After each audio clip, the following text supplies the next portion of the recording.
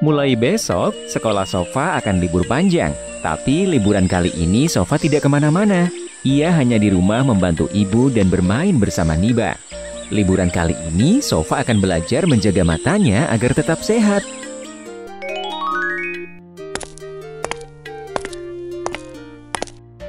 Assalamualaikum.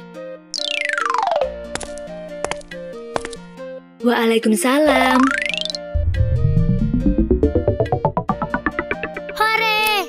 Besok mulai libur panjang, Bu. Sofa, senang sekali. Kita punya lebih banyak waktu untuk bermain. Betul nih, Ba.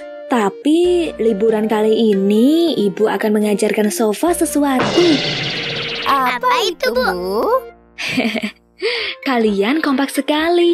Ibu akan mengajari Sofa cara menjaga mata agar tetap sehat. Hebat. Seperti apa ya? Kita lihat saja besok ya. Sofa dan Niba tidak sabar menunggu besok pagi. Nah, sore harinya, Sofa membantu ibu menyapu halaman.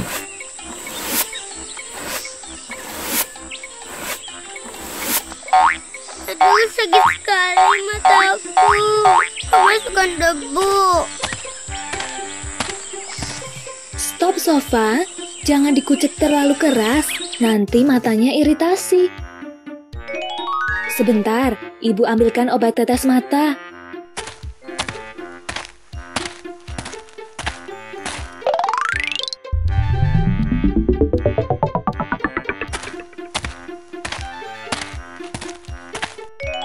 Ini nak, pakai ini saja agar matanya tidak gatal dan sakit. Iya, Bu. Coba sofa pakai.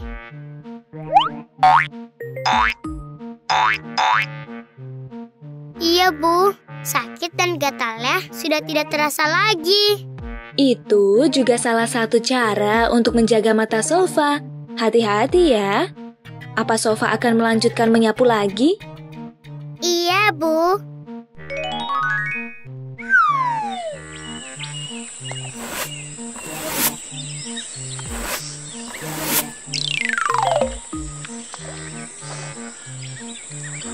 Ibu malam ini masak apa? Sayur dan ikan goreng nih, Ba. Sayur apa, Bu? Ada sayur bening wortel dan bayam. Wortel sangat bagus untuk mata. Hore! Sofa bisa makan banyak, Bu. Ibu tertawa melihat tingkah Sofa.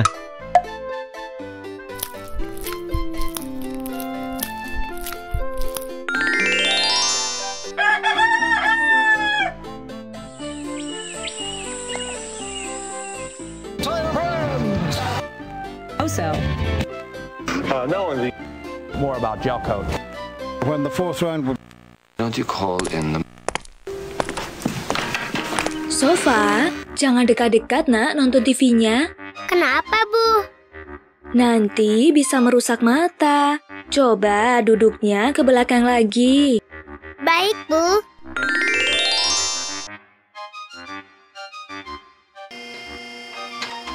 Sofa, ayo ceritakan dongeng untukku. Baik nih, Bah. Dengarkan ya.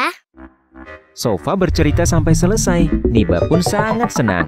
Selesai bercerita, Sofa mengajak Niba pergi ke taman bermain.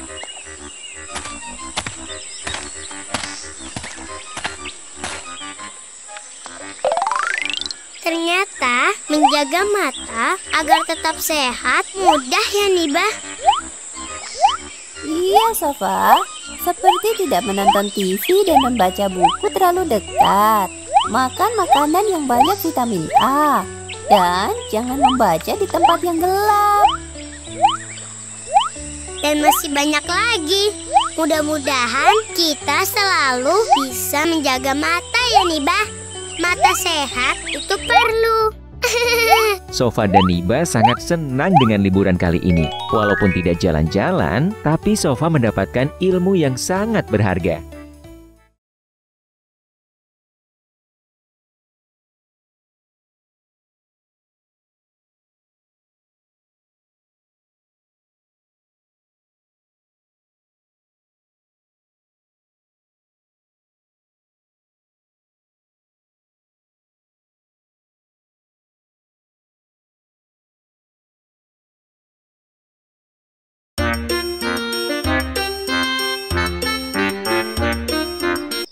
Sofa anak yang rajin.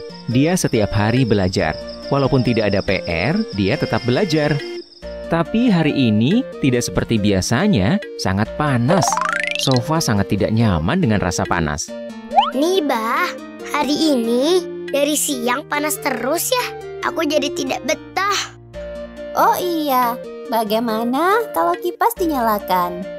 Betul nih, Sofa dan Niba mengambil kipas angin yang ada di dekat TV. Kita dorong nih, Bah. Satu, dua, tiga. Uh, uh, terus, uh berat juga. Sofa dan Niba berhasil menggeser kipas angin. Bismillah. Sekarang kita pilih kecepatan nomor satu saja. Loh, apa yang terjadi? Kenapa kipasnya tidak mau menyala? Niba kembali melepaskan kabel dari stop kontak, lalu memasukkannya kembali. Coba tekan tombol yang nomor dua, Sofa. Oke, Hmm, bagaimana ya? Minta bantuan ibu yuk. iya.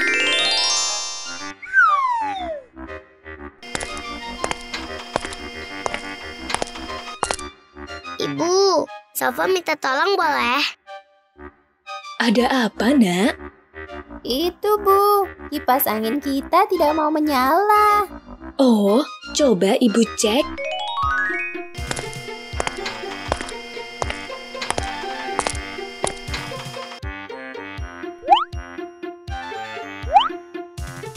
Sepertinya tidak ada yang rusak dengan kabel ini. Coba ibu masukkan kabelnya ke stop kontak.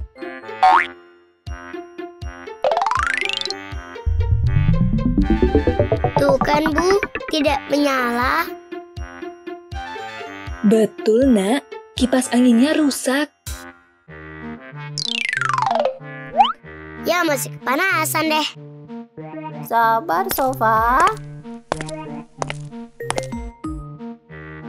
Oh, sofa kepanasan. Kita buat kipas dari kertas ini ya. Sofa dan Niba kebingungan, apa bisa membuat kipas dari kertas? Akhirnya, Sofa dan Niba menuruti apa kata ibu. Nah, peralatannya sudah siap. Sekarang lihat ibu cara membuatnya. Pertama, kita potong kertas karton secukupnya berbentuk persegi panjang. Kedua, kita lipat sedikit kurang lebih 1 cm, lalu lipat lagi dengan arah yang berlawanan. Begitu seterusnya hingga selesai. Terakhir, lipat menjadi dua, kemudian ujung paling bawah kita lipat sedikit dan kita beri lem deh. Kipas tangan sudah jadi. Wah iya Bu, tidak berat. Jadi tidak mudah lelah saat mengipasi. Ibu pintar ya, Sofa. iya dong, kan ibunya sofa. Ya sudah, Sofa, lanjutkan mengerjakan PR-nya. Baik Bu.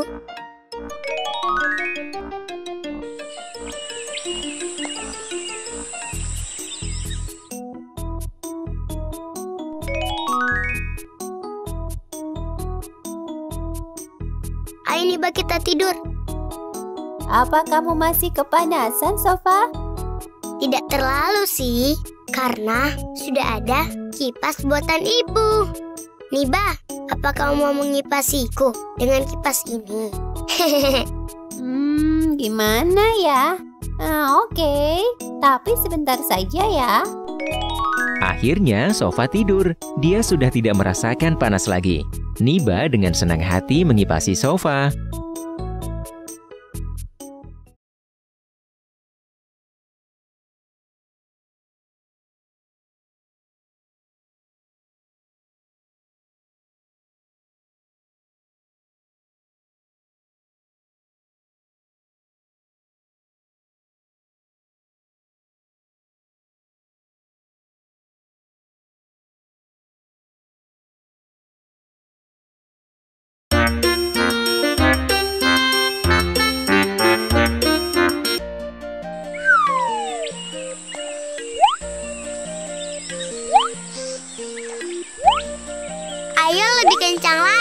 Niba. Dorong yang keras ya, Eva. Nanti setelah ini kita gantian naik ayunannya.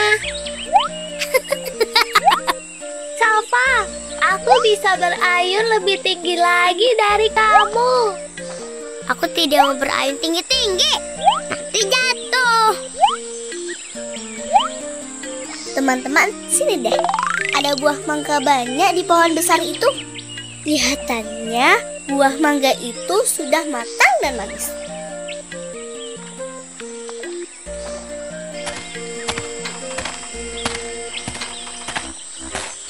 Mana Vira?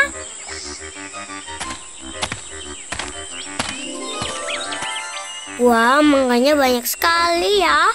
Iya, buah mangga itu sudah matang. Warnanya oranye bercampur hijau. Bagaimana kalau kita memetik mangga itu?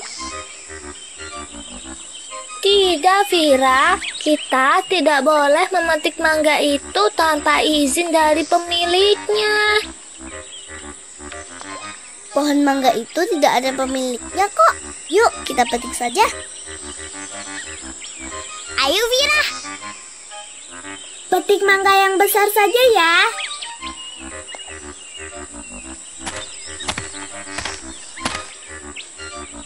Niba, bisakah kau menolong kami untuk memetik buah mangga itu? Tidak ah Sofa, memetik mangga tanpa izin dari pemilik pohon mangga sama saja seperti mencuri barang milik orang lain. Kalau Niba tidak mau menolong, kita cari galah panjang saja untuk memetik mangga.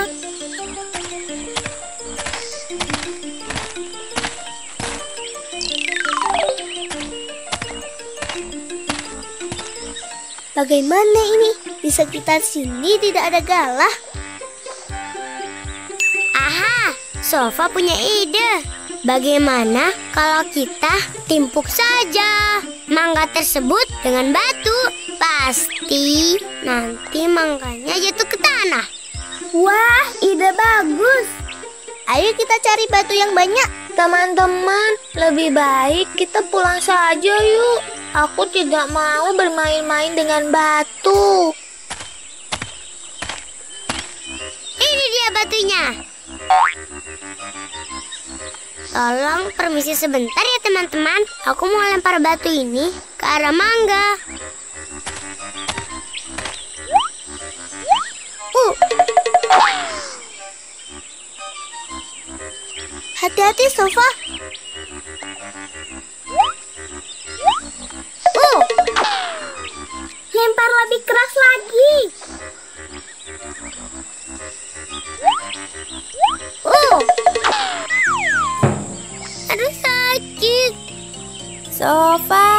Kamu tidak apa-apa? Sofa, kenapa? Sofa. Oh tidak, batu yang dilempar Sofa mengenai keningnya. Sakit sekali nih, Bah. Kenapa, Sofa? Ayo Sofa, kita pulang. Pasti di rumah ada obat merah.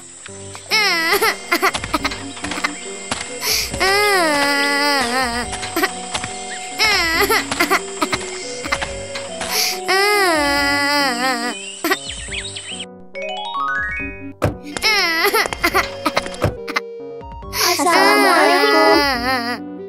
Assalamualaikum, Bu. Waalaikumsalam. Astagfirullahalazim, ada apa ini? Kenapa Sofa menangis? Ibu, kening sofa terkena lemparan batu. Siapa yang melempar batu ke arah Sofa? Tadi di lapangan Sofa melempar batu untuk menjatuhkan buah mangga dari pohonnya, Bu. Tapi batu tersebut malah mengenai kening Sofa sendiri. Ya Allah, Sofa dan anak-anak semua, lain kali jangan bermain-main dengan batu ya, bisa berbahaya. Sini luka sofa ibu bersihkan dulu. Maafkan Sofa ya, Bu. Tadi Sofa hanya mau memetik mangga. Maafkan kami juga, ibunya Sofa. Janji ya, lain kali tidak melakukannya lagi. Janji. Niba, tolong ambilkan obat merah di kotak P3K ya.